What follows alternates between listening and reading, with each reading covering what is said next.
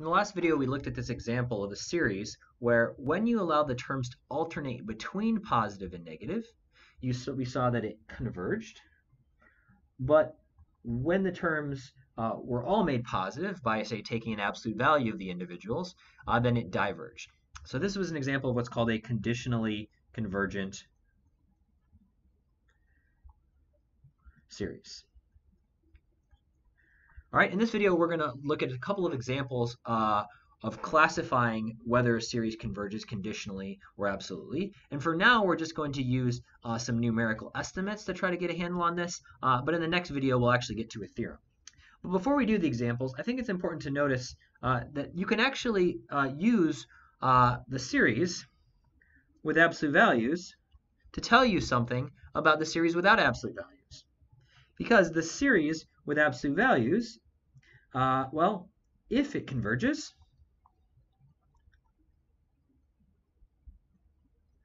then we can conclude that the sum without absolute values converges as well. All right? So if you know that this term with only positive things that we're adding up converges, then the sum with the positive and negative terms must converge. Uh, and the reason for that is we can make a nice little comparison. We can compare, well, first of all, an has got to be less than or equal to the absolute value of an. And it's got to be greater than or equal to negative the absolute value of an. And if we were to uh, add absolute value of an to each side, we'd have 0 is less than or equal to an plus the absolute value of an is less than or equal to the absolute value of 2an. Well, if the sum of an converges, well then doubling the terms isn't going to make it diverge either. So the sum of 2 absolute value of an converges. And notice that these terms are positive. And so by our comparison test, if you have uh, terms that are smaller than the terms in another sequence series that's convergent, we know that the middle one must converge as well. So by comparison,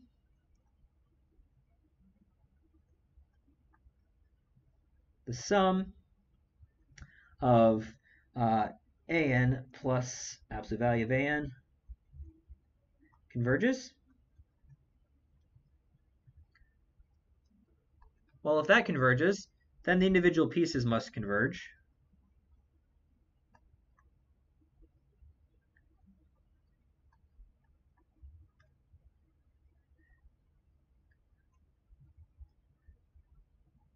And therefore, the sum of an converges.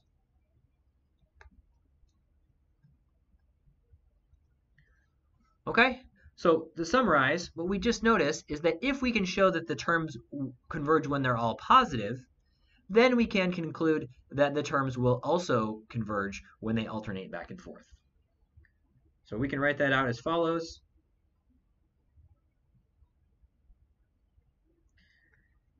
If the sum of an converges, then the sum of an without absolute values converges. Now notice, the following statement is not true. This is not a true statement. I'll write it down. Uh, and let's fix that. That should be a sum. If the sum of an converges, then we cannot conclude that the sum of the absolute value of an Okay, we just saw an example of that. If we scroll back up, notice when we looked at the sum of 1 over n, uh, without absolute values, it converged, but with absolute values, it diverged. Uh, and so knowing that it converges without the absolute values is not enough information to conclude that it's going to diverge, uh, converge with the absolute values. All right, so this is not true, but at the very least, we can know that if the sum with positive terms converges, then the sum with alternating terms is going to converge as well. So let's do an example. consider, consider the sum n equals 1 to infinity of negative 1 to the n plus 1 all over, how about, let's do, uh, let's just do n cubed. Now, that is not a series that we have worked with yet. Right? We've never seen this series, but we could write down its terms. It would be, let's see, when n is 1, we'd have uh, negative 1 to the 2, so it's going to be a positive 1 on top all over 1. Then the next one's going to be negative. It'll be 1 over 2 cubed plus 1 over 3 cubed and 1 over 4 cubed and so on. The question is, does this converge? And this would be very difficult because it's not a function where the integral test applies. Uh, comparison tests are going to be difficult. It's not a p-series uh, because of that negative 1 in the numerator. It's not geometric, it's not telescoping, the nth term test is inconclusive. So basically we'd be out of luck here. But this uh, observation we just made comes to the rescue because we know that the sum of 1 over n cubed converges. It's a p-series with p greater than uh, 1 p is equal to 3, which is obviously greater than 1. So, by the statement that we just proved, therefore, the sum, and notice that's the absolute value of negative 1 to the n plus 1 all over n cubed. So that's the term uh, the sequence with absolute values of each of the terms. And as we just proved, if that converges, then the sum without the absolute values must converge as well.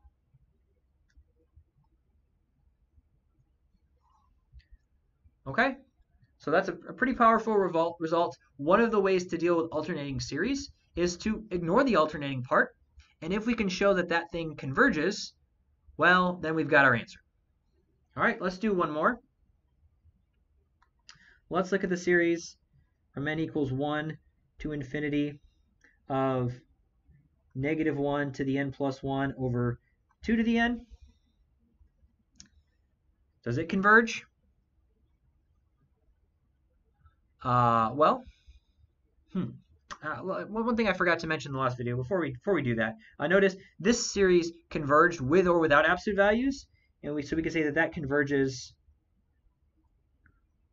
and we can say it converges absolutely. All right, so we, we can be more specific than just saying that it converges. We can say that uh, it converges with or without absolute values, it converges absolutely. All right, on to our next example. Does this diverge, converge conditionally, or converge absolutely? Well, huh, we have that negative 1 to the n plus 1, but let's, let's think about a simpler problem. Let's think about the sum of 1 over 2 to the n. Well, notice that is just a geometric series. And r, the ratio of consecutive terms, is going to be 1 half. So it must converge.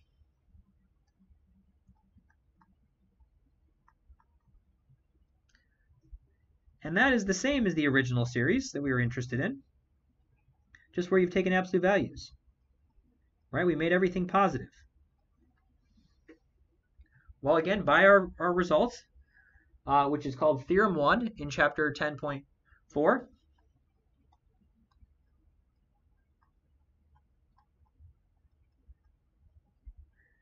since the sum of an converges, with absolute values, the sum of an must also converge. And so there we go. We can conclude that it converges. And since both converge, we would say that the answer is it converges absolutely. Okay, Now, some of you may have noticed that there's another way to do this problem, so let me just quickly mention that. Uh, we also could recognize that negative 1 to the n plus 1 over 2 to the n is just negative 1 to the n times negative 1 over 2 to the n. And so we can write that as negative 1 times negative 1 half to the n, which means that our original series actually can be written as a geometric series.